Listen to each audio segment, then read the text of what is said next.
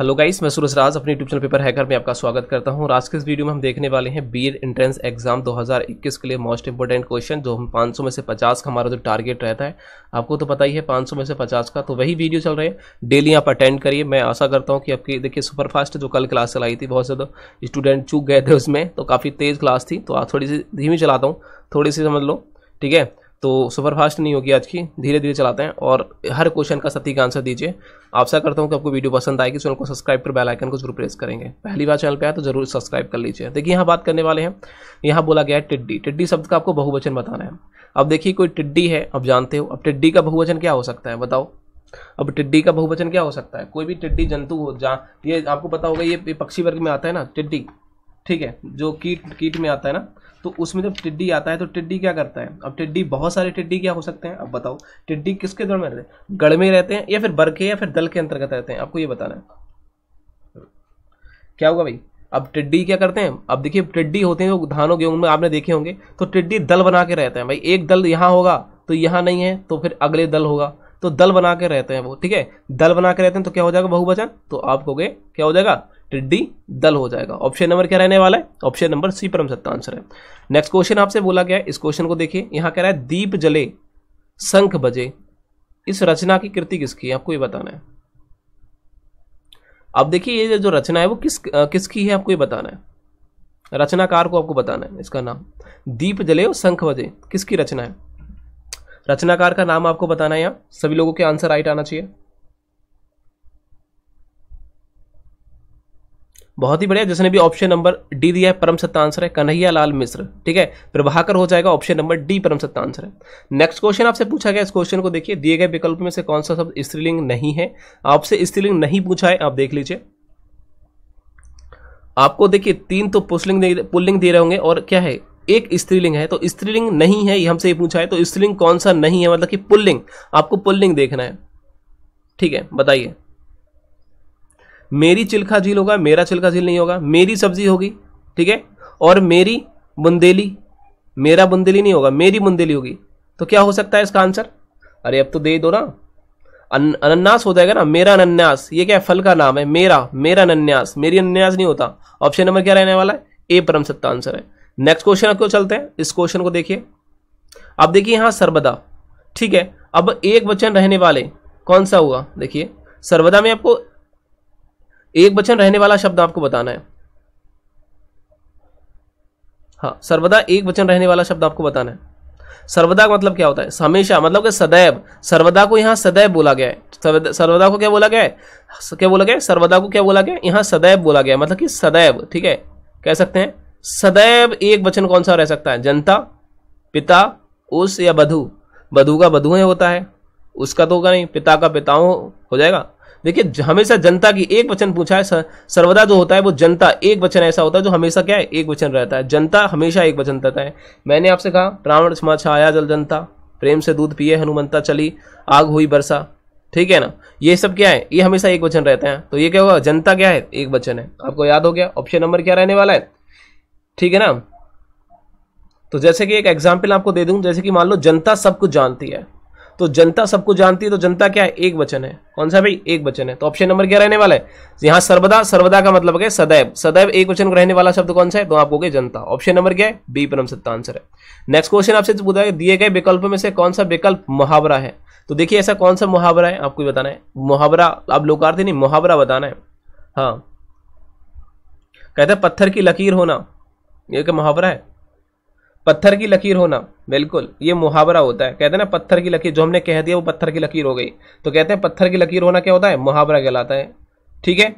मतलब कि क्या होता है? पत्थर का लकीर होने का, यदि अर्थ के निकाली जाए तो क्या होता है? ऑप्शन नंबर यही हमारा बिल्कुल राइट है, पत्थर की लकीर होना। ठीक है? नाम बड़े, कथन छोटे, ये तो भाई कृत्रिम बुकल आती है।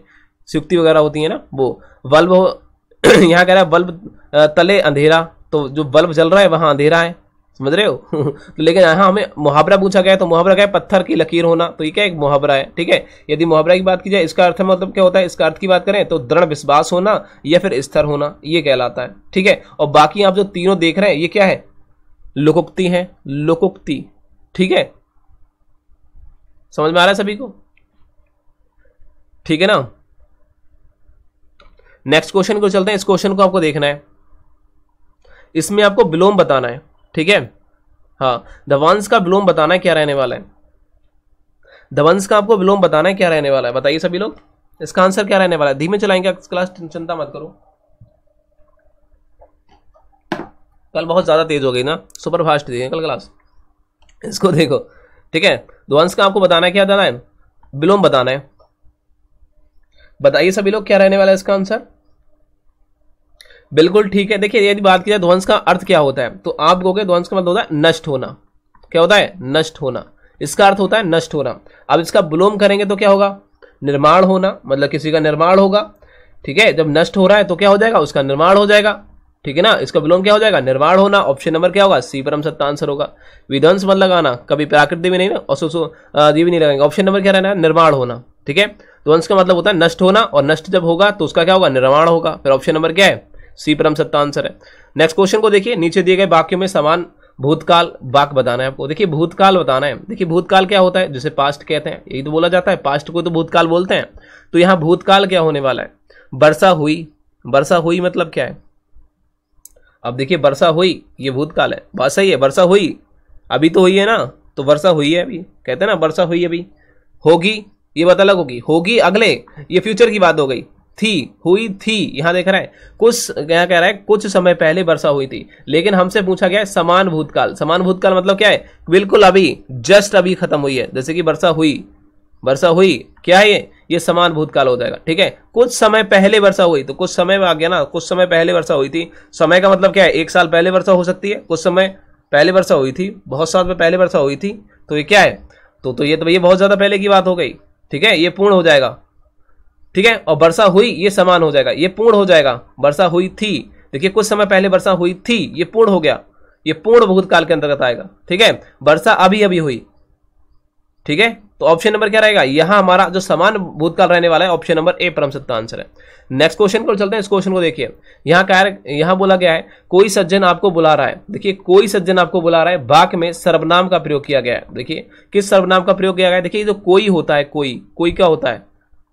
कोई क्या होता है? तो कोई के लिए क्या कहेंगे? कोई बुला रहा है। ये निश्चित व्यक्ति नहीं है, अनिश्चित व्यक्ति है। कैसा है? अनिश्चयवाचक सर्वनाम, सर्वनामिक विशेषण हो जाएगा। ऑप्शन नंबर जिसने भी सी दिया है, परम सत्य। क्योंकि कोई क्या है? कोई जो सज्जन है, वो क्या है? पक्का पता नहीं है, पता बताना कौन सा व्यक्ति है। मतलब निश्चित व्यक्ति नहीं है। वो क्या है? अनिश्चित व्यक्ति है। तो अनिश्चयवाचक सर्वनामिक विशेषण हो जाएगा। ऑप्शन नंबर जिसने भी सी दिया है, परम सत्ता आंसर हो जाएगा। ऑप्शन नंबर जिसने भी सी दिया है, परम सत्ता आंसर हो जाएगा। जिसने भी ऑप्शन नंबर सी दिया है, परम सत्ता आंसर हो जाएगा। नेक्स्ट क्वेश्चन आपके सामने है। देखिए इस क्वेश्चन को देखिए। यहाँ कह रहा है पारा ना उतरना। पारा ना उतरना मुहावरा है, ठीक है? उसका अर्थ आपको बताना है।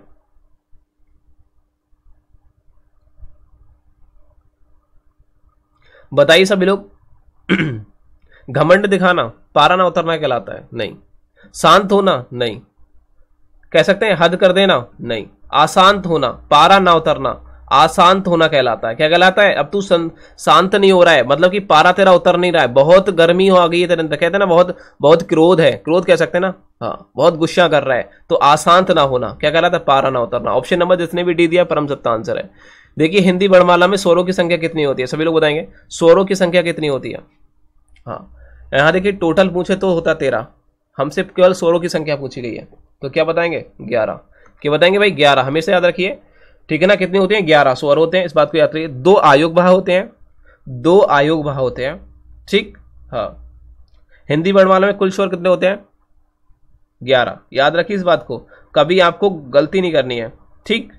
टोटल वर्ड कितनी, टोटल कितने होते हैं तो आपको होंगे बावन होते हैं। ठीक है? जिसमें ग्यारह स्वर होते हैं, तैतीस व्यंजन होते हैं, चार संयुक्त व्यंजन होते हैं, दो उच्छित व्यंजन होते हैं और दो आयोग भाव होते हैं। ठीक है? इस प्रकार से याद रखिए। टोटल कितने? बावन होते हैं।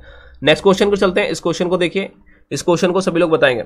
ये निम्नलिखित वाक्यों में से शुद्ध वाक्य आपको बताना है। शुद्ध वाक्य का मतलब क्या होता है? जो बिल्कुल परफेक्टली वाक्य कह सकते हैं हम लोग। बताइए।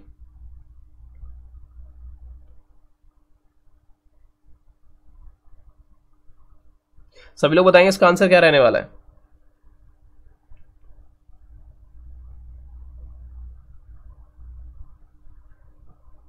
इसने भी ऑप्शन नंबर बी दिया परम सत्य आंसर है। मेरे पास कहानी की अनेक पुस्तकें हैं। ये क्या है? एक बिल्कुल शुद्ध वाक्य है। ठीक है ना? और बाकी सब अशुद्ध वाक्य है। नेक्स्ट क्वेश्चन में चलते हैं। इस क्वेश्चन को देखिए, यहाँ कह रहा है, ओह, बहुत यहाँ कह रहा है, ओह, बहुत कठिन समय आया है। इसलिए इस वाक्य में कह रहा है, दिए गए वाक्य में उचित विराम आपको बताना है। देखिए, जो उचित विराम है, ओहो ओहो के बाद क्या लगा सकते हो? देखिए, आश्चर्य हुआ है ना हमें तो आश्चर्य के लिए क्या लगाते हैं? विषमीय बोधक बच्चे ये लगाते हैं। ये आश्चर्य चिन्ह। विषमी आदि बोधक चिन्ह लगाते हैं इस प्रकार का डंडा और नीचे बिंदी विषमी आदि बोधक चिन्ह। ऑप्शन नंबर क्या होगा? सी परम सत्ता आंसर होगा। नेक्स्ट क्वेश्चन आपसे पूछा गया किस वर्ष हिंदी को राजभाषा के रूप में मान्यता दी गई थी? तो कौन से वर्ष है जिसे क्या हिंदी को राजभाषा के रूप में मान्यता दी गई थी? सभी लोग बताएँगे? हाँ ये तो सभी को देखिए, चौदह सितंबर को दो दी गई थी। उसके बाद कब दी गई थी? सभी लोगों को आंसर आना चाहिए। बिल्कुल। उन्नीस सौ उनचास को। बिल्कुल राइट जिसने भी ऑप्शन नंबर डी दिया है, परम सत्ता आंसर है। क्या है? और इसमें क्या है? कितनी राज देखिए कि भाषाएँ कितनी थी तो आप 22 भाषाएँ थी। आर्टिकल कौन सॉरी अनुसूची कौन सी थी? आपको अनुसूची आठ के अंतर्गत आठ बाईस भाषाओं को उल्लेख है। इसमें प्रेजेंट की बात कर रहा हूँ, ठीक है? हाँ। नेक्स्ट क्वेश्चन को चलते हैं। और ये राजभाषा कौन से आर्टिकल के थ्रू आती है? तो आर्टिकल की जब बात की जाए तो आर्टिकल आती है तीन से लेकर तीन सौ इक्यावन के तहत। इस बात को याद रखेंगे, यहाँ से क्वेश्चन बनता है। नेक्स्ट क्वेश्चन अब जब पूछ लेता कि मानता जे ये मतलब कि राजभाषा कौन से आर्टिकल के थ्रू रखी गई है? तो आपको जो मान्यता दी गई है, चौदह सितंबर उन्नीस सौ उनचास को, वो कौन सी दी गई? तो आपको तीन के तहत। आर्टिकल तीन के तहत हिंदी भाषा क्या है? वो राजभाषा बनाई गई और साथ ही साथ क्या बनाया गया था? उसमें और जो लिपि होगी, वो देवनागरी लिपि होगी। ठीक है? ये घोषित किया था आर्टिकल तीन में। तीन सौ चौवालीस में क्या था? एक एक सहयोग आग कह सकते हैं कि गठन किया गया था जो राष्ट्रपति और संसद, राष्ट्रपति दस साल और संसद पंद्रह साल बाद उसकी समीक्षा करता है। ठीक है, मैंने ये सारे कुछ करा रखा है, आप वहाँ देख लीजिए। इस क्वेश्चन को देखते हैं, मानक वर्तनी। ठीक है, मानक वर्तनी के आधार पर आपको शुद्ध शब्द पहचानना है। मतलब कि मानक वर्तनी हो, कोई सी वर्तनी हो, उससे फ़र्क मतलब नहीं होता। हमें शुद्ध शब्द देखना है, बस कौन सा है। बर्तनी बस बर्तनी बात कर दी उसने बर्तनी का माद मतलब ही शुद्ध होता है कि शुद्ध शब्द लिखित क्या होगा मानक हो, किसी भी हो से फ़र्क नहीं पड़ता हमें, बताइए। मृत्यु दंड किस प्रकार से लिखेंगे? जब हम आपको मृत्यु दंड देंगे तो किस प्रकार से लिखेंगे? सभी के परम सत्ता आंसर आना चाहिए, इसमें कोई दिक्कत नहीं है। बहुत ही बढ़िया, जिसने भी ऑप्शन नंबर क्या है मृत्यु दंड मृत्यु दंड किस प्रकार से लिखा जाता है? हाँ ऑप्शन नंबर जिसने भी सी दिया परम सत्ता आंसर है। नेक्स्ट क्वेश्चन को चलते हैं, इस क्वेश्चन को देखिए। यहाँ कह रहा है, दो या दो से अधिक। देखिए, आप चाहते हैं एक्सप्रेस क्लास कराऊं तो आप मुझे कमेंट करना, ठीक है? मुझे बताना कि सर एक्सप्रेस क्लास कराया करो, मज़ा आता है। यदि धीरे धीरे चलाया तो बता देना। यहाँ कह रहा है, दो या दो से अधिक, ठीक है? यहाँ कह रहा है, दो या दो से अधिक, अत्यंत समीपर्थ यहाँ बोला गया समी समी समीपर्थ वर्णों के मेल से जो परिवर्तन होता है, भाई क्या होता है? आपको ये पूछा गया है। दो या दो से अधिक जब क्या करते हैं? जब समीप वाले वर्णों का जब मेल बनाया जाता है, ठीक है तो परिवर्तन होता है। आपको बताइए। तो क्या उस परिवर्तन को होता है तो उसे क्या कहते हैं हम? संधि विच्छेद कहा जाता है या फिर संधि कहा जाता है? देखिए, जब वर्णों की मेल की बात की जा रही है, वर्ण के मेल क्या होता है? मतलब आपस में जोड़ना। जब आपस में किसी चीज़ को जोड़ते हैं, एक बात आइए दो या दो शब्द आपस में जुड़े हैं मतलब कि एक शब्द लिखा है, कोई भी मान लीजिए। ठीक है, यहाँ इस प्रकार से हमने भी लिखा था, मृत्यु प्लस दंड। यही तो था, मृत्यु, दंड। अब इन दोनों को मिलाएँगे तो क्या है, आपस में इन दोनों को, यहाँ बोला गया है समीपर्थ वर्ण मतलब कि आपस में जो समीप वाले जो वर्ण देख रहे हैं, इन दोनों को यदि मिलाया जाता है तो क्या होता है, उसे संधि कहते हैं। जब मेलने को संधि तो कहेंगे, ठीक है तो मेल से जो परिवर्तन होता है, उसे क्या कहेंगे, संधि कहेंगे। ऑप्शन नंबर ए परम सत्ता आंसर है। नेक्स्ट क्वेश्चन बोल रहा है, कौन सा शब्द रक्त का समानार्थी नहीं है। रक्त का समानार्थी नहीं आपको बताना है। रक्त का समान अर्थ वाला नहीं है। कौन सा है? बताइए। लहू। लहू को तो भाई रक्त कहा जाता है, रुधिर को भी कहा जाता है। रिपू को क्या? रक्त रक्त रक्त कहते हैं, रुधिर कहते हैं। ये बताइए। रक्त को लहू तो कहते हैं, लहू बह रहा है, ठीक है ना? हाँ और ये रुधिर भी कहते हैं। उसके बाद में क्या कहा? शोड़ित बोल सकते हैं क्या? रुधिर को शोड़ित बोल सकते हैं। सभी लोग बताइए। इसका आंसर क्या रहने वाला है? सभी लोग कमेंट सेक्शन में आंसर देंगे। रुधिर को देखिए, रक्त की बात किया, रुधिर कहते हैं, लहू कहते हैं शोड़ित भी बोलते हैं। भाई, रुधिर को शोड़ित भी बोलते हैं, बहुत ही ज़्यादा इंपॉर्टेंट है, ये भी हो जाएगा। तो रिपू नहीं होगा। रिपू नहीं होगा तो ऑप्शन नंबर क्या रहने वाला है? ऑप्शन नंबर ए रक्त के जो समानार्थी, ये तीन आपको देखने को मिल रहे हैं, ये तीन आपको देखने को मिल रहे हैं, ठीक है? रक्त के कौन कौन से हो जाएँगे? भाई, रक्त के कौन कौन से हो जाएँगे? देखिए, रुधिर हो जाएगा, लहू हो जाएगा, शोषण, खून और लोहित एंड लोहू भी बोलते हैं। लेकिन रिपू क्या है? रिपू रक्त का क्या है? समानार्थी नहीं है। बल्कि किसका है? रिपु शत्रु को बोलते हैं। रिपु किसको बोलते हैं? शत्रु को। याद रखिए, रिपु का रिपु का जो समानार्थी है, वो शत्रु का है। शत्रु बोलते हैं। शत्रु का क्या है? समानार्थी क्या है? रिपु होता है। नेक्स्ट क्वेश्चन को चलते हैं। अल्प विराम कौन सा है बताइए। अल्प विराम कौन सा है सभी लोग बताएँगे। अल्प विराम कौन सा है सभी लोग बताएँगे। देखिए हाँ अल्प विराम की बात की जा रही है। देखिए, यदि बात की जाए पूर्ण विराम तो ये जो चिन्ह देख रहे हैं, ये पूर्ण विराम का होता है। ठीक है? ठीक है? और अर्ध विराम की बात करें, अर्ध आधा विराम तो अर्ध विराम का चिन्ह ये होता है। ठीक है? हाँ और अपूर्ण विराम का इस प्रकार से होता है। और अल्प विराम की बात करें तो ये होता है। ऑप्शन नंबर जो आपने दिया है ना, बी परम सत्ता आंसर है। जिसने भी ऑप्शन नंबर बी दिया है, परम सत्ता आंसर है। नेक्स्ट क्वेश्चन को चलते हैं। इस क्वेश्चन को देखिए। इस क्वेश्चन को आप कैसे करने वाले हैं? ध्यान से देखना है। आपको यहाँ आघोष वर्ण कौन सा पूछा गया है? आघोष। देखिए, मैंने कहा पहला, दूसरा, तीसरा, चौथा और पांचवा। देखिए आघोष माने होता है आगे आने वाले वर्ण। ये पहले और दूसरे जो होते हैं, वो आघोष कहलाते हैं, तीसरे, चौथे, पांचवे जो होते हैं, वो क्या कहलाते हैं? संघोष कहलाते हैं। तो आघोष हमसे पूछा है मतलब कि का, खा, चा, छा, इस प्रकार के वर्ण। आप देखिए, पा, फा, पा और फा। अब देखिए, कौन सा इन दोनों पहले आए तो देखिए, बा तो लास्ट में आता है, गा तीसरे नंबर पे आता है, ठीक है? और घा चौथे नंबर पे आता है, ये आता है सबसे पहले नंबर पर। तो ऑप्शन नंबर क्या होगा? हमारा आगोश वर्ण पी हो, पा हो जाएगा, ठीक है? ऑप्शन नंबर ए परम सत्ता आंसर है। नेक्स्ट क्वेश्चन बोल रखा है, दो देखिए, निम्न में क्या है? महाप्राण व्यंजन कौन सा है? देखिए, महाप्राण कौन सा होता है? एक होता है अल्प प्राण अल्प प्राण कौन कौन से होते हैं? पहला का ग अणा। पहला, दूसरा सॉरी पहला, तीसरा और पांचवा। ये अल्प्राण कहलाते हैं। दूसरा और चौथा महाप्राण कहलाते हैं। तो पहला महाप्राण आपको देख लेना है। ठीक है? जिसमें क्या है? थोड़ी ज़्यादा खा, घा, ऐसी वायु निकलती है। बताइए, क्या रहने वाला है? सभी लोग बताएँगे इसका आंसर क्या रहने वाला है? देखिए, दूसरा और चौथा महाप्राण कहलाता है तो आपको याद होना चाहिए, दूसरे नंबर पर देखिए, का, खा, गा, घा, अणा। अब आपको ये जो खा और ये घा है ये दोनों क्या है? महाप्राण है। तो आपको देखना है, दूसरे नंबर पर और चौथे नंबर पर जो आता है तो ता तो पहले नंबर पर आता है, ता और था था आता है दूसरे नंबर पर, ता, था, ता और दा आता है तीसरे नंबर पर तो ये भी नहीं होगा, ये भी नहीं होगा, था आता है तो ये तो दा है, दा तीसरे नंबर पे होता है। और उसके बाद देखिए पा फा बा, भा। भा किस पे आता है? आप कहोगे, भा आता है चौथे नंबर पर। और हमें चौथा नंबर चाहिए और माँ आता है पाँचवें नंबर पर। तो ये नहीं होगा तो ऑप्शन नंबर हमसे क्या पूछा है? चौथे नंबर, दूसरे चौथे नंबर पर जो आता है, वही आंसर होगा। तो ऑप्शन नंबर सी परम सत्ता आंसर होगा। ऑप्शन नंबर सी परम सत्ता आंसर होगा। नेक्स्ट क्वेश्चन को चलते हैं। यहाँ देखिए, भलाई में आपको प्रत्य बताना है। तो भलाई में प्रत्य कौन सा है?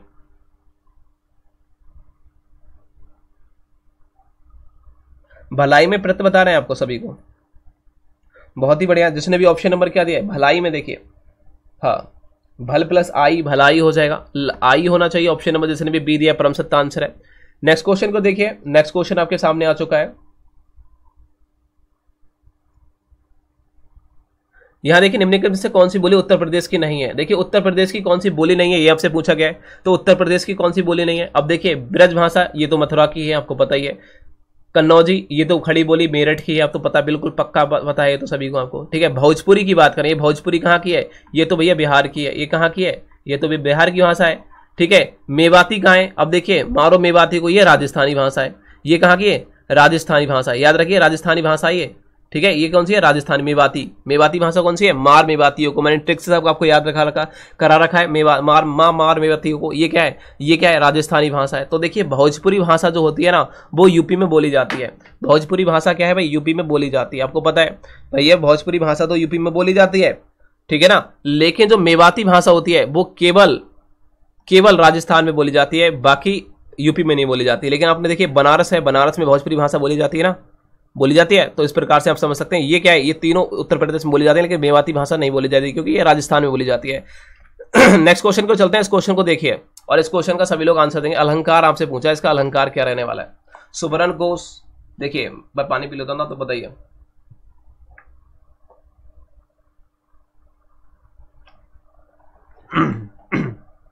देखिए, कह रहा है सुबरन को खोजत फिरत कभी ब्रह्मचारी चोर। इसमें अलंकार आपको बताना है। बताइए, सुमरन को खोजत फिरत, कभी ब्रह्मचारी चोर। सभी लोग बताएँगे, यहाँ रूपक अलंकार हो जाएगा, अनुप्रास अलंकार हो जाएगा, उपमा अलंकार और श्लेष अलंकार कौन सा हो जाएगा, बताइए। सभी लोग बताएँगे? इसका आंसर क्या रहने वाला है?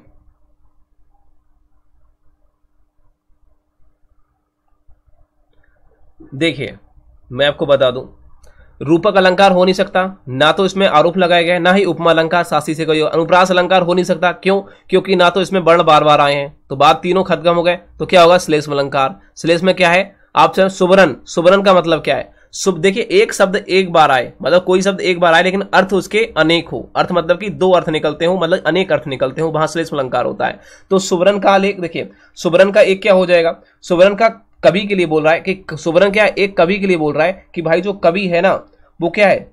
अच्छे शब्द के लिए बोला गया है। मतलब कि कवि के मतलब सुवर्ण मतलब स्वर्ण के लिए मतलब खोजत फिरत कवि। मतलब कवि को क्या है? सुवर्ण मतलब एक अच्छा शब्द के लिए बोला गया है। और यही ब्रह्मचारी की बात की जाए ब्रह्मचारी की बात की जाए, और यही देखिए, सुवर्ण ब्रह्मचारी ब्रह्मचारी सकते हैं, ठीक है ना? व्यवचारी का मतलब व्यवचारी बोला गया तो व्यवचारी का अर्थ क्या हो जाएगा? तो आपको इसका मतलब हो जाएगा, जैसे कि गोरे रंग वाली स्त्री। ठीक है ना? अच्छे वर्ण हो, लेकिन गोरे रंग वाली स्त्री होनी चाहिए। ठीक है? सुवर्ण का मतलब हो गया। ठीक है? एक तो कवि मतलब कि अच्छे लोगों के बारे में बताया गया है। कवि क्या अच्छे लोगों का। एक व्यवचारी की बात कर रहा है तो क्या है? एक सुंदर स्त्री के बारे में बताया गया व्यवचारी ठीक है? सुवर्ण मतलब कि अच्छी सुंदर। एक चोर के बारे में बताया गया तो चोर का मतलब क्या होता है? अब एक सुवर्ण चोर के अर्थ में बता रहा है, जैसे कि सोना, वर्ण वगैरह चोरों को चुराने की बात कर रहा है। तो यहाँ तीन अलग अलग अर्थ निकल रहे हैं। किसके? सुवर्ण के। जहाँ अर्थ अनेक हो, वहाँ क्या होता है? श्लेष अलंकार होता है। ऑप्शन नंबर क्या रहने वाला है? ए परम सत्ता आंसर है। नेक्स्ट क्वेश्चन आपकी ओर चलते हैं। इसको देखिए कौन सा आपसे पूछा गया है। आयादी संधि का उदाहरण है। बताइए। अयादी संधि कौन सी होती है? देखिए, जहाँ मैंने क्या कहा कहा जाए? अब आ जाए। अय आ जाए। वो क्या होता है? अब आ जाए अय आ जाए। वो आयदी संधि होती है। होती है नहीं होती, मुझे बताओ। है ना? तो क्या आ जाए? आयद अब देखिए, जहाँ में क्या है? यहाँ देखिए दो मात्राएँ, एक ही मात्राएँ। ये क्या है? वृद्ध संधि है। उन्नति क्या है? अन्न तो आना नहीं चाहिए, ये तो वैसे ही खत्म हो जाएगा। महेंद्र, माना अंत महेंद्र हो जाएगा। एक मात्रा इसमें गुड़ संधि हो जाएगी। आज क्या हो रहा है मुझे? और देखिए पावक की बात करें। तो पावक क्या हो जाएगा? ये क्या हो जाएगा? आदि संधि हो जाएगी। ये इसका उदाहरण हो जाएगा ऑप्शन नंबर क्या रहने वाला है? ऑप्शन नंबर क्या रहने वाला है? भाई ए परम सत्ता आंसर हो जाएगा। ऑप्शन नंबर क्या रहेगा? ए यदि इसका मैं करूँ तो किसका हो जाएगा? पौ प्लस क्या हो जाएगा? अक। पावक। पौ प्लस अक पावक होता है। और पावक में क्या है? देखिए, अब आया हुआ है। अब अब आया हुआ है। ठीक है ना? तो जो अब होता है, ये अब या अय हो जाए, वह आय दी संधि होती है, आपको पता ही है। तो यहाँ देखो, बीच में लगा हुआ, तुरंत आप लगा दोगे। ये क्या है? गुड़ संधि हो जाएगी इसमें एक मात्रा है। यहाँ दो मात्राएँ, वृद्ध संधि हो जाएगी, उन्नति की तो बात ही मत करो, ठीक है? हाँ। नेक्स्ट क्वेश्चन में चलते हैं। इस क्वेश्चन को देखिए, यहाँ स्थायी भाव नहीं है। तो देखिए, कौन सा स्थायी भाव नहीं है? देखिए, जुगुप्सा की बात करें तो ये होता होता है, निर्वेद भी होता है, करुण रस, करुण क्या होता है? करुण रस होता है, ठीक है? करुण रस होता है, स्थायी भाव थोड़ी होता है इसका। तो ऑप्शन नंबर क्या होगा? ऑप्शन नंबर डी परम सत्ता आंसर होगा। क्या हो जाएगा? ऑप्शन नंबर डी क्योंकि ये रस होता है, स्थायी भाव नहीं होता है। इसका स्थायी भाव क्या होता है? शोक होता है, आपको पता है। करुण का क्या होता है? स्थायी भाव, शोक होता है। तो ऑप्शन नंबर क्या है? यही रस है, उन्होंने करण स्थायी भाव पूछा है तो स्थायी भाव कौन सा नहीं है? तो करुण नहीं है, क्योंकि करुण क्या है? एक स्वयं रस है। नेक्स्ट क्वेश्चन भी चलते हैं। इस क्वेश्चन को देखिए। इसको देखेंगे ध्यान से। बताइए। कहते हैं, अपने को संकट में डालने का मुहावरे का अर्थ क्या होता है? अपने को संकट में डालने वाला जो अर्थ है, इसको आपको बताना है, मुहावरे का अर्थ क्या रहने वाला है? सभी लोग बताएँगे। अपने को संकट में डालना। बिल्ली के गले में घंटी बांधना। भैंस के आगे बीन बजाना। बताइए। हाँ मक्खियाँ मारना कहते हैं ना, अपने को संकट में डालना नहीं। भीगी बिल्ली बनना, सभी लोग बताएँगे इसका आंसर क्या रहने वाला है। सभी लोगों के आंसर यहाँ राइट आना चाहिए, बताइए क्या रहने वाला है। अपने को संकट में डालना। कहते हैं ना, बिल्ली के गले में क्या, घंटी बांधना। ये होता है, अपने को संकट में डालना। देखिए, भैंस के आगे बीन बजाना, ये तो क्या होता है कि हमारी कोई, हम उससे किसी किसी व्यक्ति से हम कुछ अपनी रिक्वेस्ट कर रहे हैं, लेकिन वो सुन ना रहा है तो कह रहा है, ये साला नहीं मानेगा भी भैंस के आगे बीन बजाने से कोई फ़ायदा नहीं है। कहते नहीं कहते? अब मक्खियाँ मारना क्या गलाता है? मतलब कोई काम ही ना कर पा रहे हैं, लेकिन संकट में डालना अलग चीज़ है तो उसको और भीगी बिल्ली बनना, ये तो बात गलत हो गई ना, कि हम किसी से डर गए, तभी तो कह सकते हैं, भीगी बिल्ली बन गया, जैसे कोई आ गया शेर तो भीगी बिल्ली बन गया। तो ये क्या है? डरना तो ये डरना थोड़ी पूछा गया, ये संकट में डालना है तो क्या हो जाएगा? बिल्ली के गले में घंटी बांधना। तो यहाँ थोड़ा ऑप्शन भी देख लिया करो और थोड़े ऑप्शन को अर्थ निकाल लिया करो। इसको देखो यहाँ कह रहा है। रात भर जागना स्वास्थ्य के लिए अच्छा नहीं है। इस रेखांक के जो चिन्ह देख रहे हैं, भर, शब्द को पहचानना है। तो क्या है ये भर? भर क्या है? आपको कहोगे रात भर, दिन भर, ये क्या है बताइए। सभी लोग बताएँगे? हाँ।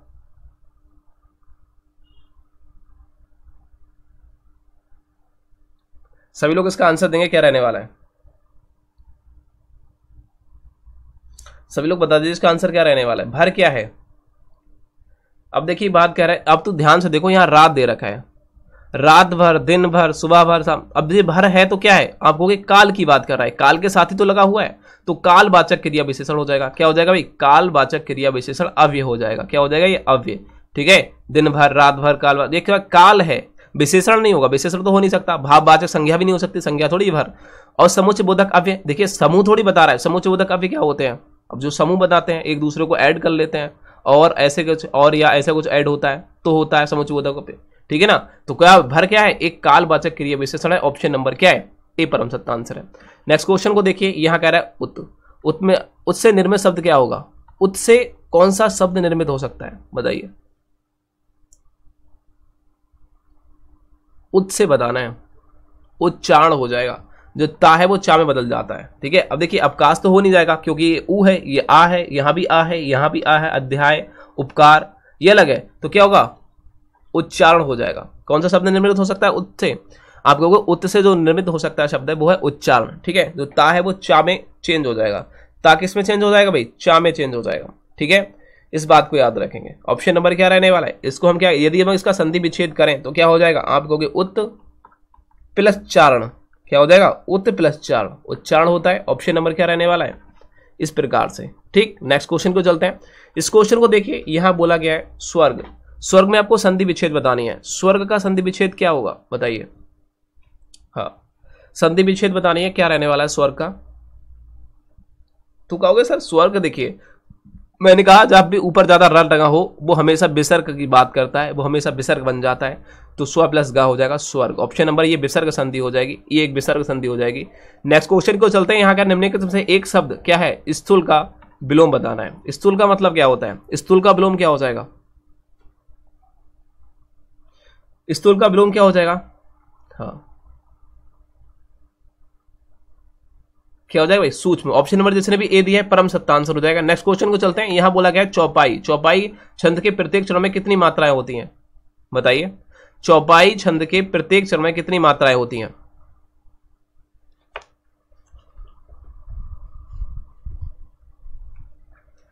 तो मैं गाइस आपको बता दूँ, चौपाई जो छंद होता है, उसके प्रत्येक चरण में जो मात्राएँ होती हैं वो होती है ना चौपाई। देखो, चौ कहते हैं चौ। चौ का मतलब क्या था चार। चौ को चार कहते हैं ना? और पाई। पाई किसे कहते हैं? जिसपे स्क्वायर लगा होता है। तो चार चौक सोलह। हो गई? ये याद है ट्रिक करने की। सोलह सोलह मात्राएँ होती हैं। ठीक है? कितनी होती है? सोलह सोलह मात्राएँ होती हैं। ठीक है ना? और ये सब सम विषम मात्रिक छंद होता है। कैसा होता है? सम सम मात्रिक छंद होता है। ठीक है? हाँ इसमें समान मात्रा होती है। वो सम मात्रिक होता है। विषम मात्रिक जिसमें अलग अलग होती है। अर्ध विषम मात्रिक जिसमें क्या होता है? मतलब एक छोड़ के एक छोड़ के वैसे होती हैं, ठीक है ना? हाँ अलग अलग होती हैं। अर्ध, आधी ठीक होंगी और आधी अलग होंगी। जैसे कि दोहा, सोल्टा वगैरह। इसको देखो। यहाँ आपको बताना है। यहाँ देखिए, यथाशक्ति में आपको क्या बताना है? समास बताना है। बाकी को पढ़ने की ज़रूरत नहीं है। रेखांकित बोला गया है। बताइए, इसका आंसर क्या रहने वाला है? कहते हैं, हमें यथाशक्ति दान करना चाहिए। इसमें आपको समास बताना है। तो यथाशक्ति में समास बताना है। कौन सा रहने वाला है? देखिए, यथा तथा। मैंने कहा ना, यथा प्रति मतलब कुछ ऐसे शब्द जो पहले क्या हो? प्रत्य लगे हो। ठीक है, पहले से प्रति लगे क्या होता है? देखिए, अब मैं काटने की बात करूँ तो इसको काट के भी कर सकते हो। देखिए बहुव्यायी समाज हो नहीं सकता। दुंगु समाज गिनती आई नहीं है तत्पुर समाज होगा नहीं, क्योंकि यथा को शक्ति नहीं कह सकते ना। यथा की शक्ति भी नहीं कह सकते। ऑप्शन नंबर क्या रहने वाला है? अभी वही भाव समाज हो जाएगा। इक्यासी का क्या हो जाएगा? क्या हो जाएगा? जिसमें उपसर्ग लगा होता है पहले यथा एक उपसर्ग ही होता है, ठीक है? उपसर्ग का कार्य करता है, ठीक? हाँ तो यथा के अनुसार जो शक्ति होती है, यथा शक्ति कहलाती है। लेकिन तत्व समाज नहीं होगा, याद रखिए इसमें। अब यही समाज हो जाएगा, यथा वगैरह ऐसा कुछ, कभी भी यथा आ जाए, यथा, या फिर प्रति, ऐसा कुछ उपसर्ग आते हैं लगे वो तो क्या होता है अव्यवही समाज होता है। ऑप्शन नंबर क्या रहने वाला ए परम सत्ता आंसर है। नेक्स्ट क्वेश्चन को चलते हैं। इस क्वेश्चन को देखिए। विशिक आपसे दे रखा है, ठीक है? विशिक शब्द में आपको पर्यावाची बतानी है। बेसिक के पर्यावाची बताने हैं। कौन सा है? बताइए। बेसिक के शब्द का पर्यावाची आपसे पूछा गया है। कौन से शब्द का पर्यावाची है? बताओ। बेसिक का पर्यावाची क्या हो सकता है? सभी लोग बताएँगे। इसका आंसर क्या रहने वाला है? भाई, यहाँ के, देखिए, सभी के राइट आना चाहिए, बिल्कुल। बहुत ही बढ़िया। देखिए बेसिक के पर्यावाची बहुत सारे होते हैं। जैसे कि बाढ़ जो होता है, बाढ़ आ जाती है, वो बेसिक होती है। ठीक है? ये ऑप्शन नंबर बी परम सत्ता आंसर होगा। बाढ़ हो जाएगा, सहायक हो जाएगा, नाराज़ हो जाएगा, और सिलीमुख हो जाएगा और शर भी इससे बोलते हैं, बिसिमिक बिसिक को ऑप्शन नंबर बी और परम सत्ता आंसर हो जाएगा। नेक्स्ट क्वेश्चन को चलते हैं। यहाँ बोला गया निम्नलिखित शब्द में से कौन सा शब्द सदैव बहुवचन है? देखिए, सदैव बहुवचन की बात की जा रही है तो सदैव कौन सा बहुवचन रहता है? देखिए, मैंने कहा सदैव बहुवचन लगाने के लिए आप मेरे का यूज़ कर लीजिए। मेरे। क्या लगाएँगे भाई? कहते हैं, हमेशा याद रखिए, मेरे आप लगा लीजिए ट्रिक आपका पता चल जाएगा। सब देखिए, मेरा लड़का मेरे लड़के हो जाएँगे, मेरे लड़के होते, मेरा, मेरे लड़का नहीं होता, मेरे लड़के, गलत हो रहा है वर्ड बोला नहीं जा रहा है तो गलत हो रहा है। मेरे प्राण मेरे प्राण, बिल्कुल ठीक है, ये हमेशा बहुवचन रहता है।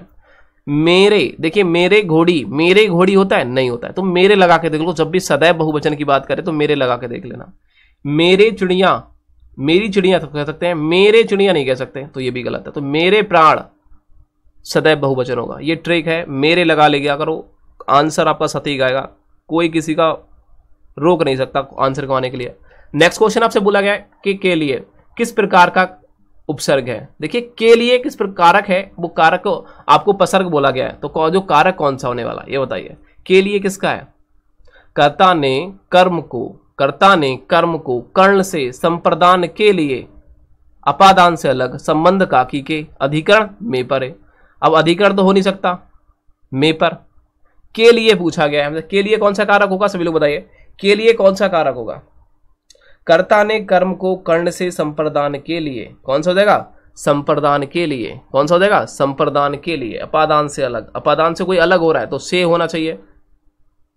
कर्ण ठीक है ना? तो ऑप्शन नंबर क्या रहा है? संप्रदान के लिए। तो आप के लिए आएगा तो संप्रदान हो जाएगा। ऑप्शन नंबर क्या रहने वाला है? ए परम सत्ता आंसर आएगा। ठीक है? पसर्ग पूछा है, कारक का पसर्ग होने वाला है। तो पता मतलब कारक कौन सा ये पूछा है। के लिए कारक कौन सा है? तो पसर्ग पसर्ग को मत छोड़ो उसको।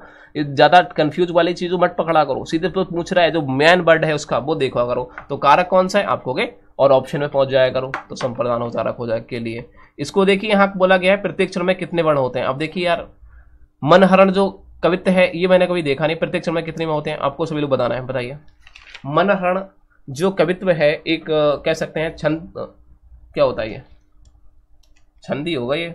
छंद होता है, इसमें कितने चरण होते हैं, और कितने चरण मतलब कह रहे हैं, यहाँ प्रत्येक चरण में कितनी मात्राएँ होती हैं, वो पूछा गया, कितने वर्ण होते हैं, वर्ण या फिर मात्राएँ, वही बात है। तो क्या होता है, ये वर्णिक छंद कहलाएगा। ये वर्णिक छंद के अंतर्गत आता है, वर्णों के छंद, एक मात्रिक छंद होता है, एक वर्ण वर्ण वाले छंद होता है, ठीक है? तो ये वर्णिक छंद कहलाता है। तो वर्ण के आधार पर जो होते हैं, अब बताओ, वर्ण पूछे गए, कितने वर्ण होते हैं? आपसे पूछा गया, प्रत्येक क्षण में कितने वर्ण होते हैं? मनहरण के मंदिर हाँ बताओ। ठीक है। सब लोग यार मात्रे की छंद पढ़ते हैं, ये वर्ण छंद तो पढ़ता ही नहीं है। भाई इंपोर्टेंट होता है। बताओ कौन सा रहने वाला है इसमें? इकतीस ऑप्शन नंबर सी परम सत्ता आंसर हो जाएगा। नेक्स्ट क्वेश्चन को चलते हैं। यहाँ देखिए, रीतिवाचक क्रिया विशेषण छाटिए रीतिवाचक क्रिया विशेषण का मतलब क्या होता है? रीति माने क्या होता है? रीति का मतलब बताइए। कैसे? मैंने बताया था, ट्रिक लगा के देखो, कैसे? कैसे लगा के देखो? कैसे? यहाँ वहाँ। कैसे? यहाँ वहाँ। बहुत। कैसे? बहुत तेज। कैसे चल रहे भाई? बहुत चल रहे हैं। कैसे चल रहे? हैं बहुत चल रहे हैं। बहुत। कैसे? कल। कल तो हो नहीं सकता। जैसे तैसे। कैसे चल रहे हो? जैसे तैसे चल रहे हैं। जैसे तैसे हो जाएगा, या फिर वहाँ यहाँ वहाँ हो जाएगा। यहाँ वहाँ क्या है? तो स्थान की बात कर दी। भाई, यहाँ वहाँ तो स्थान की बात कर दी इसने। यहाँ वहाँ तो स्थान की बात कर दी। और बहुत, आपको कितना? देखिए, कह रहा कितना? आपको बहुत। तो ये तो परिमाण वाचक क्रिया विशेषण की बात कर दी। ये तो परिमाण वाचक क्रिया विशेषण की बात कर दी। अब देखिए जैसे तैसे कैसे? वो जैसे तैसे तो तुम्हारे घर आ पाए हम। कैसे आयो भैया हमारे घर? है तो कहोगे जैसे तैसे घर आऊँ मैं तुम्हारे। कैसे आऊँ? जैसे तैसे बहुत मुश्किल से गिरते गिराते लेटते लिटाते थक गया हूँ मैं। समझ रहे मेरी बात को? तो क्या हो जाएगा? कैसे आयो तो आपको जैसे तैसे। ऑप्शन नंबर क्या है? डी परम सत्ता आंसर है। ट्रिक लिख लो। ज़बरदस्त वाली है। दोस्तों, मैं बता रहा हूँ, इससे कुछ बाहर नहीं आने वाला। किसी भी भयंकर से भयंकर क्वेश्चन आपसे पूछ ले। ट्रिक से आप चुटकी मिला दोगे उस क्वेश्चन का आंसर यहाँ से पूछा गया है?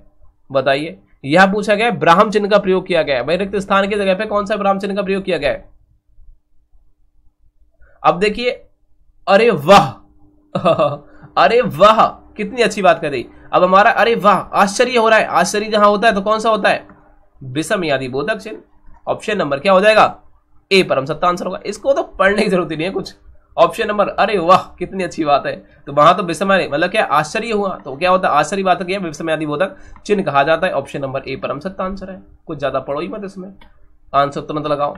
टाइम बर्बाद मत करो। क्वेश्चन को देखो और आंसर दो। क्वेश्चन को देखो आंसर दो। ठीक है ना? ज़्यादा कुछ करने की ज़रूरत नहीं है।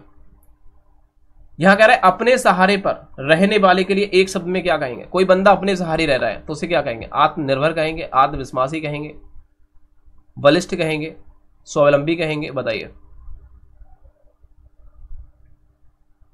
देखिए, जो बंदा अपने सहारे पर रहता है, वो स्वावलंबी कहलाता है। क्या कहलाता है? स्वावलंबी ऑप्शन नंबर क्या है? ए परम सत्ता आंसर हो जाएगा। क्या हो जाएगा भाई? ए परम सत्ता आंसर हो जाएगा, ठीक है? जो अपने सहारे रहता है, वो स्वावलंबी कहलाता है। नेक्स्ट क्वेश्चन को चलते हैं? इस क्वेश्चन को देखिए, आप ध्यान से देखना और आंसर देना है। यहाँ कह रहा है बारात। बारात का आपको तत्सम बताना है। देखिए, अब बारात, देखिए, बारात है। अब भैया किसी की बारात तो जा रही है। हाँ तो बारात का तत्सम आपको बताना है। क्या होता है? वर यात्रा। भाई, आप कहते हैं, देखिए, ये क्या है? आपको ये तो तद्भव है। कैसा भाई? ये तद्भव शब्द है। कैसा शब्द है? ये तद्भव शब्द है। अब बारात का तत्सम पूछा गया तो कहते हैं बर यात्रा। बर की मतलब क्या होता है? दूल्हा की यात्रा हो रही है, बर यात्रा। तो ये क्या हो जाएगा? ब्रात नहीं होगा। ब्रात दी गई बर यात्रा बोलेंगे ऑप्शन नंबर जिसने भी डी दिया है, परम सत्ता आंसर है। ऑप्शन नंबर जिसने भी डी दिया है, परम सत्ता आंसर है। नेक्स्ट क्वेश्चन में चलते हैं। नब्बे क्वेश्चन आपके सामने है, कह रहा है, पैसे से मनुष्य की जीवन जीने की इच्छा क्या हो जाती है? बलवती होती है। ठीक है? तो आपको यहाँ कह रहा है रेखांकित जो दे रखा है रेखांकित शब्द दे रखा है, जो वाक्य दे रखा है, वाक्यांश, उसमें एक शब्द बता रहा है। जैसे कि जीवन जीने की इच्छा के लिए एक शब्द में हम क्या कहेंगे? जीवन जीने के लिए कहते हैं, जीवन जीने की इच्छा जैसे होती है, उसे एक शब्द में क्या कहेंगे?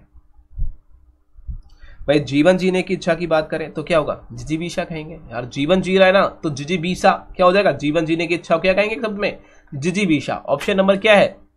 ऑप्शन नंबर ए परम सत्ता आंसर हो जाएगा। ठीक है? जीविका नहीं कहेंगे उसकी जीविका। नहीं जिजीबीशा जीने की जो इच्छा रखता है, कहते ना, जीने की इच्छा रखने वाले को जिजीबीशा कहा जाता है।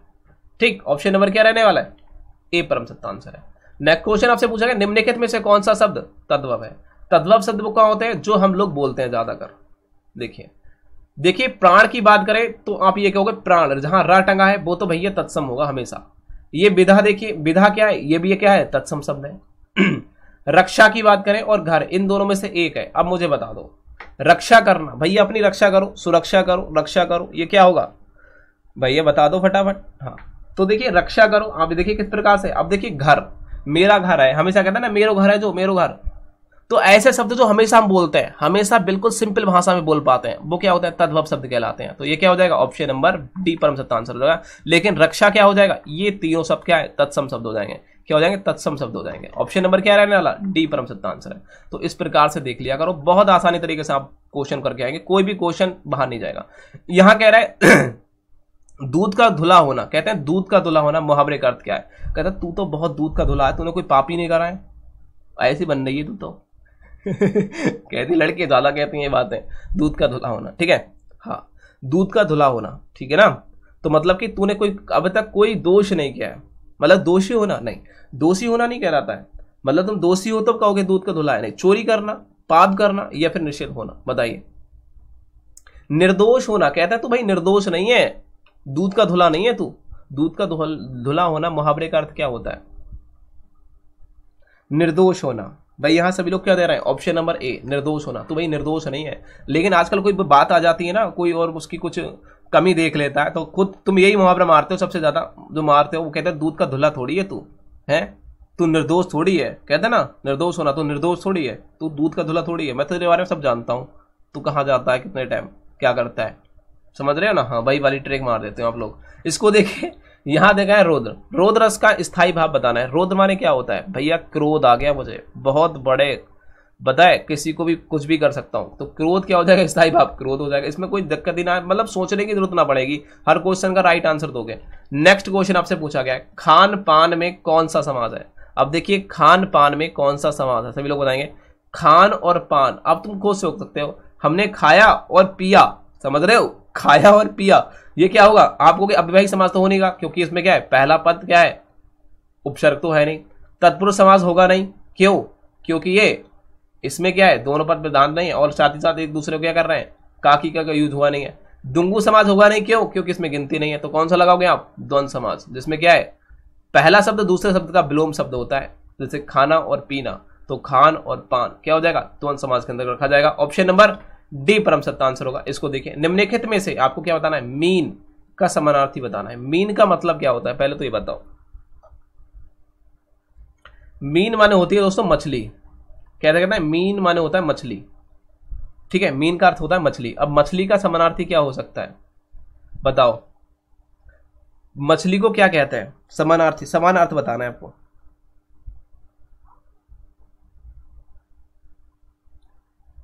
क्या हो जाएगा? झस हो जाएगा। झस को क्या कहते हैं? मछली बोला जाता है। मीन बोला जाता है। ऑप्शन नंबर ए लेकिन अली की बात करें, अली को भौरा कहते हैं। पष्टपद की बात करें, इसको भी भौरा कहते हैं। और सिलीमुख की बात करें, ये सब किसके हैं? भौरा के परिवाची हैं। किसके? भौरा के समानार्थी हैं। भौरा जानते हो? अली, शखी हाँ। एक होता है अली अली माने होता है भौरा और एक होता है अली, बड़ी की मात्रा होता है तो होता है सखी। सखी, सहेली वही वाला।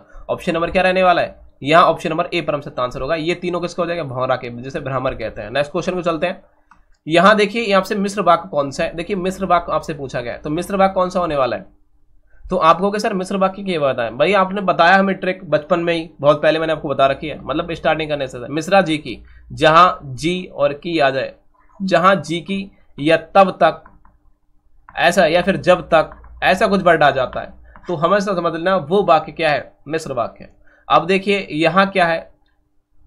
अब देखो, यहाँ की की और जी की कैसा कुछ वर्ड आया है? बताइए, पहला आप ऐसे प्रकार से देखिए, कहीं जी और की देखा है? आपने नहीं। अब सबसे पहले हम देखेंगे जी की, आपको इस वर्ड में आया, बाकी किसी में आया ही नहीं है, देखो। तो ये तो भाई सिंपल वाक्य हो जाएँगे, सरल वाक्य जिसे कहते हैं। एक, देखिए, कह रहा है, एक एक बहुत सी, बहुत ही सुंदर लड़की कहीं जा रही थी। तो ये क्या एक सुंदर, एक सरल वाक्य हो गया। ये सरल वाक्य हो गया ये सारे। अब देखिए, जहाँ की आ जाए, मैंने कहा जी की जब तक, तब तक ऐसे कुछ वर्ड आ जाए तो हमेशा क्या होगा? मिश्र वाक्य अंतर्गत रखा जाता है। मेरा विचार है कि हिंदी का एक साप्ताहिक पत्र निकालू।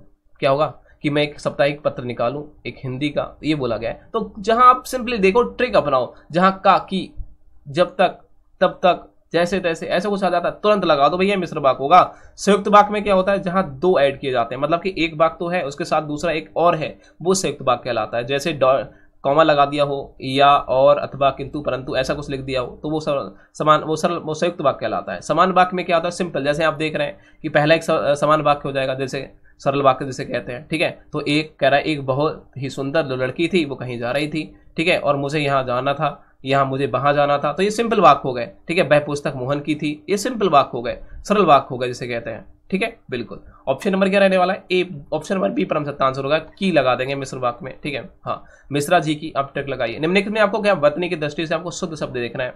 अब देखिए, बर्तनी आ गई। बर्तनी का मतलब यही होता है कि शुद्ध बता दो भैया, शुद्ध। गलत नहीं बताना है, शुद्ध शब्द बताना है। आगामी आगामी नहीं होता, आगामी होता है। ठीक है? हाँ। अब बताइए, मुझे सभी लोग बताएँगे क्या रहने वाला है? सभी लोग इसका आंसर सटीक देंगे, इसमें कोई डाउट नहीं है। सभी लोग इसका आंसर सटीक देंगे, इसमें कोई डाउट नहीं है। अब यदि बात करें अध्ययन अध्ययन की बात करें, ये बिल्कुल सत्य शब्द है, अध्ययन। देखिए, अध्ययन कहते हैं ना, अध्ययन कर लो भैया, पढ़ लो, अध्ययन कर लो, कुछ पढ़ लो तो ये कि बिल्कुल शुद्ध हो जाएगा ऑप्शन नंबर सी परम सदा। लेकिन देखिए, आग जो होता है ना, आगामी आगामी का मतलब आगामी होता है। आगामी मतलब कि आने वाला, अग, जो अगले आ रहा है, कोई दिन, वो आगामी कहलाता है। ठीक है? अनुसरण किस प्रकार से लिखोगे आप? अनुसरण कैसे लिखोगे? अनुसरण, यहाँ देखिए छोटा सा होता है। बड़ा सा नहीं होता है। अनुसरण इस प्रकार से लिखा जाता है। यहाँ क्या छोटा सा होगा तो अनुसरण होगा। अधिकार क्या होगा भैया? अधिकार किस प्रकार से लिखोगे आप? है? अधिकार बड़ी की मात्रा थोड़ी होती है। आप इस प्रकार से अधिकार लिखते हो। भैया, मेरा जो अधिकार है, वो ये है, अधिकार। ये गलत है। अधिकार। अधिकार नहीं अधिकार होता है हमारा। ठीक है? अधिकार होता है। हमारा किसी पे क्या है? अधिकार है। अधिकार नहीं है। अधिकार होता है। क्या होता है? अधिकार होता है। इस बात को याद रखेंगे। नेक्स्ट क्वेश्चन को चलते हैं। यहाँ देखिए, अट्ठानवे क्वेश्चन है आपको। और क्या है? देव शब्द का बहुवचन बताना है। बताइए। कह रहा है, देव प्रसन्न होकर मनुष्य को बर देते हैं। क्या देते हैं? मनुष्यों को क्या कहते हैं? बर देते हैं। जब देवता जब प्रसन्न होते हैं आपसे, अपने सेवा की, अपने प्रार्थना की, अपने व्रत रखे, फास्ट रखे, और आपको फिर प्रसन्न हुए, आपने क्या दे दिया? बर दे दिया। मतलब क्या दे दिया? बर का मतलब क्या है? वो वाला बर में समझ लिए, पति वाला, पत्नी वाला। समझ रहे हो? वो वाला बर नहीं दे दिया। क्या दे दिया तुम्हें? एक शक्ति दे दी, एक बर दे दिया। यहाँ बोला है जो देव देख रहे हैं, देव देव का बहुवचन क्या होगा? देव जानते हो, भगवान को बोला जाता है। तो देव क्या होता है? देव जन होते हैं, लोग होते हैं क्या देव? बताओ, देवता जो होते हैं, वो लोग होते हैं। अरे आम आदमी थोड़ी होते हैं वो यार। या फिर देव लोग हो देव लोग होते हैं जन होते हैं फिर लोग होते हैं व्रंत होते हैं या फिर गढ़ होते हैं। देवों के क्या होते हैं? आप कहोगे देव जो होते हैं ना गढ़ के थ्रू रहते हैं। मतलब क्या? देव गढ़ होगा। क्या हो जाएगा? Option number option number A परम सत्तांश होगा। जन नहीं होते लोग नहीं होते व्रंत नहीं होते ठीक है ना? ऑप्शन नंबर क्या हो जाएगा? ऑप्शन नंबर ए परम सत्तांश होगा। दे, देवगढ़ हो जाएगा। नेक्स्ट क्वेश्चन में चलते हैं। निन्यानवे आपको देखिए अशुद्ध बाक पहचानना है। अशुद्ध बाक कौन सा है बताइए। मैंने उससे बात की थी। सूर्य पूरब से उगता है। यह बात हर कोई जानता है। तुम्हारे से कोई काम नहीं हो सकता। आपको अशुद्ध वाक बताना है। मैंने उससे बात की थी। मैंने उससे बात की थी। वो बहुत अच्छी लड़की है। समझ रहे हो? शादी कर लो तुम फटाक से। कहते ना? हाँ। तो समझ रहे हो? तो ये तो भैया सरल शुद्ध वाक हो जाएगा। अब क्या रहने वाला है? आपको ये बताना है। कहते ना, सूर्य पूरब से निकलता है, या उगता है। बात वही है, उगता है, निकलता है, ये भी ठीक है यार। बिल्कुल अच्छा लिखा हुआ है, कोई दिक्कत नहीं है। अशुद्ध वाक है नहीं इसमें। तीसरे पर जाते हैं, कह रहा है, यह बात हर कोई जानता है कि तू बहुत अच्छा है, या तू बहुत बदमाश है। है ना? तू बहुत बदमाश है। ये सब लोग जानते हैं। क्या जानते हैं? ये सब कहते हैं ये बात हर कोई जानता है कि तू बहुत बदमाश है। तो ये भी सही वाक्य है। हमसे पूछा अशुद्ध वाक। तो अशुद्ध वाक कौन सा हो सकता है? कह रहा है, तुम्हारे से कोई काम नहीं होगा। नहीं, तुम्हारे नहीं, तुमसे क्या हो जाएगा? तुमसे कोई काम नहीं हो सकता। तुम्हारे से नहीं, तुमसे कोई काम नहीं हो सकता। तो यही अशुद्ध हो जाएगा। ऑप्शन नंबर डी परम सत्ता आंसर हो जाएगा। हमारा जो डी रहने वाला है, वो परम सत्ता आंसर हो जाएगा कि तुमसे कोई काम नहीं हो सकता। तुम्हारे से नहीं, तुमसे कोई काम नहीं हो सकता। सौवा क्वेश्चन है, आप सभी लोगों को कमेंट सेक्शन में आंसर देंगे, इसका क्या रहने वाला है? हाँ। आप देखिए, कृत्रिम बोला गया है, इसका विलोम आपको बताना है। कृत्रिम का आपको विलोम बताना है, क्या रहने वाला है? देखिए, यदि मैं इसके कृत्रिम की अर्थ की बात करूँ तो इसे कहते हैं बनावट। यदि किसी चीज़ की, कहते हैं ना, बनावटी चीज़ है तो उसे कृत्रिम बोला जाता है। कृत्रिम मतलब कि उसको बनाया गया है, निर्माण किया गया है, या फिर कह सकते हैं नकली। उसका नकली का मतलब क्या है? उसे देखकर बनाया गया है, कॉपी की गई है, नकली चीज़ कह सकते हैं। अब इसका विलोम क्या होगा? देखिए, अब देखिए, कोई बनावट है मतलब कि अपने हाथ से बनाई गई है कोई मानव निर्मित है, अब मानव निर्मित का क्या हो जाएगा? आपको कोई प्राकृतिक हो जाएगा मतलब कि प्राकृतिक निर्मित हो जाएगा। कृमित का क्या हो जाएगा? प्राकृतिक। मतलब एक चीज़ बनाई गई है, एक नकल की गई है। मतलब प्राकृतिक की कोई भी चीज़ है तो उसका नकल की गई है तो क्या हो जाएगा? उसका ब्लोम क्या हो जाएगा? प्राकृतिक हो जाएगा। तो ऑप्शन नंबर क्या रहने वाला है? डी परम सत्ता आंसर है। तो आज के इस वीडियो कैसे लगी? कमेंट सेक्शन में ज़रूर बताइए। आज स्लोली क्लास थी कोई दिक्कत नहीं है। चैनल को सब्सक्राइब कर बेल आइकन को प्रेस ज़रूर कर देना और दोस्तों को शेयर कर देना। फिर भी कोई इशू तो कमेंट बॉक्स में ज़रूर पूछना, ठीक है? मिलते हैं नेक्स्ट तब तक के लिए हिंद दोस्तों। चैनल को सब्सक्राइब ज़रूर करिए। थैंक यू लव यू सभी के लिए। Good night